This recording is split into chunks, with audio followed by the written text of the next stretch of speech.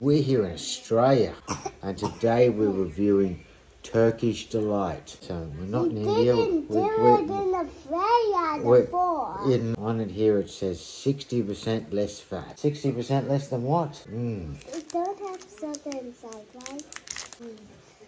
Uh, Might be some too, too hard. so just ripping it in half. Which half? Oh, to, can I take the bigger half? Um, So inside there's like a jelly in this.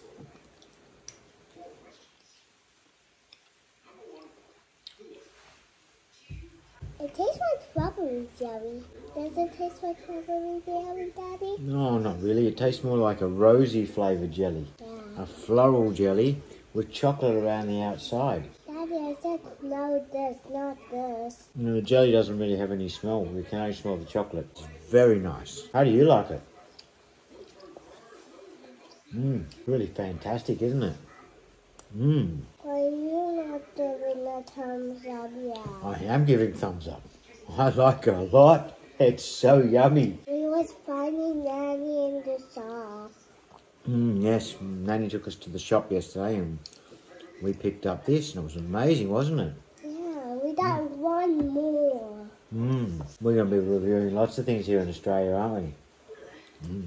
This was Fry's Turkish Delight. What tastes a little bit like a rosy floral jelly on the inside, covered in chocolate. Chocolate's very nice chocolate.